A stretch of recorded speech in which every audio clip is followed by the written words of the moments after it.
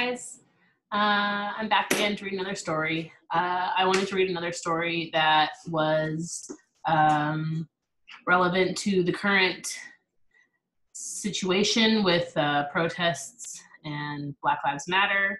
Um, so, this story that I'm going to read is called Swing Sisters The Story of the International Sweethearts of Rhythm. Oh, where'd I go? All right, I'm going to share my screen here. This is another story that I got from Epic, uh, which has a, a lot of virtual text. All right, so this is called Swing Sisters, the story of International Sweethearts of Rhythm. It's written by Karen Deans and illustrated by Joe Cepeda. Way back in 1909, that was over 100 years ago, not far from Jackson, Mississippi, Mississippi, there was a special place for orphans. It was called Piney Woods Country Life School. A man named Dr. Lawrence Clifton Jones started the school. He wanted to make sure that, that these African American kids had a good place to live, food to eat, clothes to wear, and a good education. In return, the children worked at the school to earn their keep. Some planted seeds and picked weeds outside on the farm. Others chopped vegetables in the kitchen or did laundry. Of course, they also did things that most kids do today, such as studying, reading, and playing games.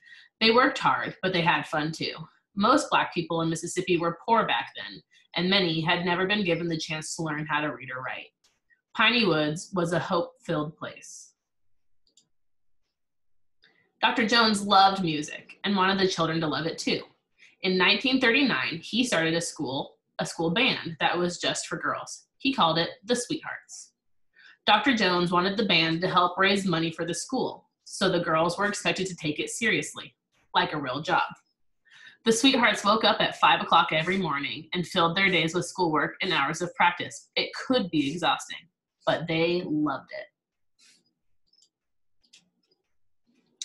The music the girls played was called swing. Sometimes people called it big band music because there were lots of instruments and musicians, sometimes as many as 17. The musicians were divided into sections depending on what kind of instruments they played. The brass section was made up of trump, trumpets and trombones. The woodwind section had clarinets and saxophones. The rhythm section was all about drums, piano, bass, and guitars. There was one singer who was the leader, like a conductor, who kept the girls together at the right tempo. And the sweet, sweethearts had a music coach who taught them new songs and put their music together for them. Swing. Now, that music was filled with energy. It was jazz. It had rhythms and melodies that got people up on their feet to dance. And like any good music, it told stories about how it feels to be alive. The Sweethearts played in churches and schools and other places. When the girls left Piney Woods, they kept the Sweethearts together and moved to Washington, D.C., where they hoped they could make a living as musicians. They lived like a family of sisters, spending all their time together, eating, sleeping, talking, and playing music. Occasionally, they got into fights like sisters sometimes do, but mostly they got along. They had a chaperone named Rae Lee Jones to look after them. Ray traveled with the sweethearts, making sure they had safe places to eat and sleep. They traveled in their very own bus, Big Bertha, which had their name splashed across the sides. They ate on that bus, they played cards on that bus. Those girls even slept on that bus. At night, they would look out Big Bertha's windows and watch miles and miles of America flash by like a movie they were doing something most girls couldn't have dreamed of doing because it had never been done before. Every so often, a band member would leave, but they were always picking up new musicians along the way. A sax player from Boston, a bass player from New York. The original members of the group were black, but the band grew to include people of many races and nationalities. The Sweethearts didn't care as long as they could play music, as long as they could swing they started calling themselves the International Rhythms of Sweetheart, or the International Sweethearts of Rhythm, excuse me. And pretty soon they found themselves in the big time. They got dressed up in beautiful gowns and fancy shoes and performed for crowds all over the place.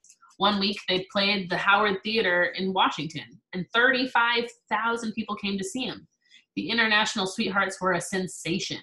People lined up in up in the streets for hours to hear them play. Inside the theater, people danced in the aisles night after night. In the 1940s, there were other big band entertainers who were very popular, such as Louis Armstrong and Count Basie. They were leaders of male bands. The International Sweethearts of Rhythm was one of the very few all female bands at the time. Women were discriminated against. They didn't get paid as much as male entertainers. Some didn't even get taken seriously. But the Sweethearts worked just as hard as men did, and these women were good. Back then, Jim Crow was alive and well in the weather in the southern states. Now, this Jim Crow was not a man. It was a name given to a group of laws that banned black people and white people from socializing and working together. That made it mighty risky for a multiracial band traveling and performing in states such as Alabama, South Carolina, and Maryland.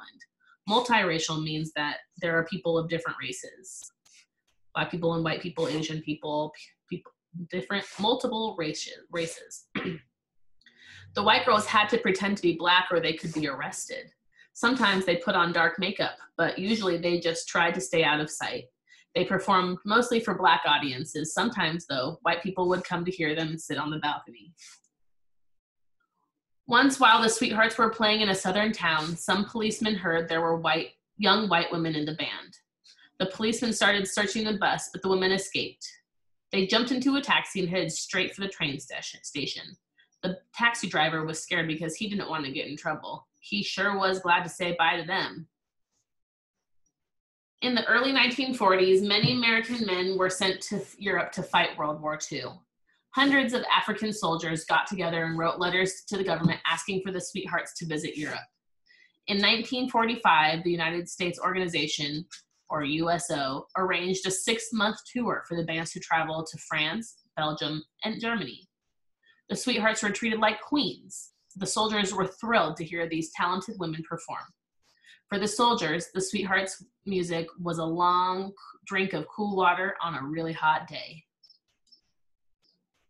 The sweethearts came home and played for a while. They didn't make all that much money though, and before long they started to go their separate ways. Some got married and raised families, some others got jobs. Some kept playing music for the rest of their lives.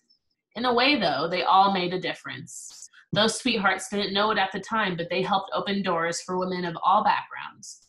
They gave hope to those who heard them play, and they helped show the world how to sing. Swing. Ah. They helped share the world how to swing. That was a really nice story. I hope you enjoyed that story, and I will continue to upload stories, um, both uh, in textbooks and from Epic. I enjoy some of those Epic books, so I think I'll share some more of those with you guys. Anyways, I'll keep posting and I hope to see you guys soon. Have a nice day.